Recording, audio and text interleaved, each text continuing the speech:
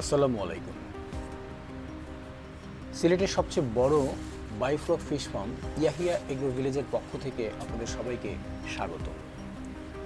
দর্শক, আপনারা তো জানেন, সিলেটের সবচেয়ে বড় বায়োফ্লক ফিশ ফার্ম হচ্ছে ইয়াহিয়া এগ্রো ভিলেজ প্রতি বছর আমাদের প্রচুর পরিমাণে মাছের খাবার প্রয়োজন হয়। একসময় আমরা বাজার থেকে কিনেই মাছের খাবারটা খাওয়াইতাম, কিন্তু ইদানিং খাদ্যের অত্যাধিক মূল্য বৃদ্ধির কারণে সেটা আর সম্ভব হয়ে উঠছে না। তাই আমরা নিজেরাই উৎপাদন করে নিজেদের মাছকে খাওয়াই। সেই উৎপাদন যেন আরও কমানো যায়, তার জন্য মাঝে মাঝে আমরা কিছু চাষাবাদ করে থাকি। যেমন গত বছর আমরা ভুট্টা চাষ করেছিলাম, প্রায় সতেরো কেয়ার জমিতে। সিলেট অবশ্যই কেয়ারকে, বিঘাকে কেয়ার বলে। সেই সতেরো বিঘা জমিতে কিন্তু আমরা ভুট্টা চাষ করেছিলাম।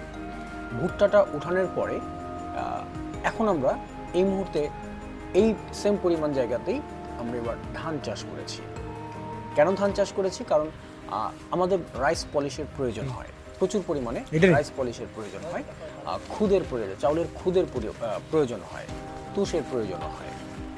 এবং সেই সব কারণেই কিন্তু আমরা ধান চাষ করেছি। আমরা আশা করছি এবার প্রায় বিশ থেকে পঁচিশ টন রাইস পলিশ আমরা আমাদের জমি থেকেই পাবো।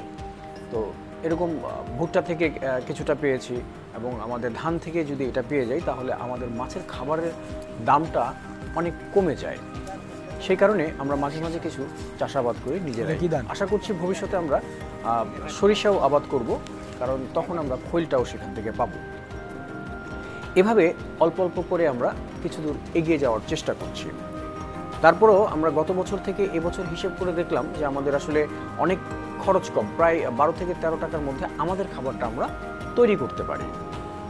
তো আমার মতন বা আমাদের মতো এইরকম যদি সারা বাংলাদেশের খামারিরা চেষ্টা করেন নিজেদের খাবারটা নিজেরাই তৈরি করার, তাহলে কিন্তু মাছ চাষটা বা মাছ চাষের বিষয়টা অনেক সহজ হয়ে যায়। আপনারা সবাই জানেন, মাছ চাষের সবচেয়ে অধিক পরিমাণে খরচ হয় হচ্ছে মাছের খাদ্য সংগ্রহ করার জন্য। কারণ বাণিজ্যিক খাবারের দাম কিন্তু এখন আকাশ ছোঁয়া। চাইলেই যে কেউ এখন আর রেগুলার মাছের খাবার দিতে পারছেন না। আর আমাদের সিলেটের ব্যাপারটা একটু আলাদা। সিলেটে কিন্তু বাণিজ্যিকভাবে যারাই মাছ চাষ করেন, তারা প্রাকৃতিক খাবারের উপরে কিছুটা নির্ভর করেন। অথবা তারা মনে করেন, পুকুরে মাছ ছেড়ে দিলেই আপনা আপনি মাছ বড় হয়ে যাবে। তারা খাবারটা খুব বেশি খাওয়াইতে চান না। তো সে কারণে দেখা গেছে শুধুমাত্র পাঙাশ মাছ, যে মাছটা আপনি আট মাস বা এগারো মাসে পাওয়ার কথা, সেই মাছটা কিন্তু প্রায় পনেরো থেকে আঠারো মাসে চলে যাচ্ছে। তারপরেও কিন্তু কাঙ্ক্ষিত ফলাফল অনেকেই পাচ্ছে না। তখন দোষ হচ্ছে আসলে মাছের পোনা ভালো না, মাছ ভালো না। আপনি কিন্তু খাবার দিচ্ছেন না, সেই বিষয়টা কখনো বলছেন না। তাই আমি বলব, যারাই মাছ চাষ করবেন, তারা আসলে চেষ্টা করবেন স্থানীয়ভাবে যে খাবারটা পাওয়া যায় সেই সব খাবার দিয়ে মাছের খাবারটা তৈরি করার জন্য। বাণিজ্যিকভাবে অনেকেই অনেক কিছু বলে। যে এটা না থাকলে এত প্রোটিন না থাকলে, এত পার্সেন্ট প্রোটিন না থাকলে মাছ হবে না। এটা আসলে বাণিজ্যিকভাবে বা খাদ্য বিক্রি করার একটা পলিসি মাত্র। আপনার যদি অভিজ্ঞতা থাকে বা আপনি যদি পারেন, তাহলে আপনি খাবারের প্রোটিন পার্সেন্ট ঠিক রেখে আপনার স্থানীয়ভাবে সংগ্রহ করা ইনগ্রেডিয়েন্টস দিয়ে কিন্তু খাবারটা তৈরি করতে পারেন। তারপরেও আমরা সিলেটে যারা আশেপাশে বসবাস করছেন, তাদেরকে একটা সুযোগ করে থেকে আপনারা যদি ইনগ্রেডিয়েন্টসগুলো নিয়ে আসেন আমাদের কাছে, আমরা আপনাদেরকে ভাসমান খাবার তৈরি করে দেব। আমাদের খাবারের পাশাপাশি আপনারা, আপনাদেরটাও তৈরি করে দিব।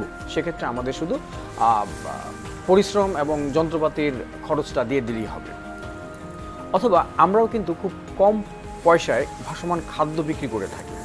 আপনাদের যদি প্রয়োজন হয়, আপনারা আমাদের সাথে যোগাযোগ করবেন। আমরা সেই পরিমাণ খাদ্য কিন্তু আপনাকে দিতে পারব।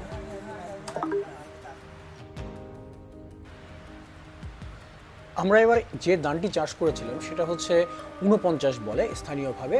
আসলে এটা হচ্ছে বি উনপঞ্চাশ এটা হচ্ছে রূপা আমন উনপঞ্চাশ বলেই থাকি।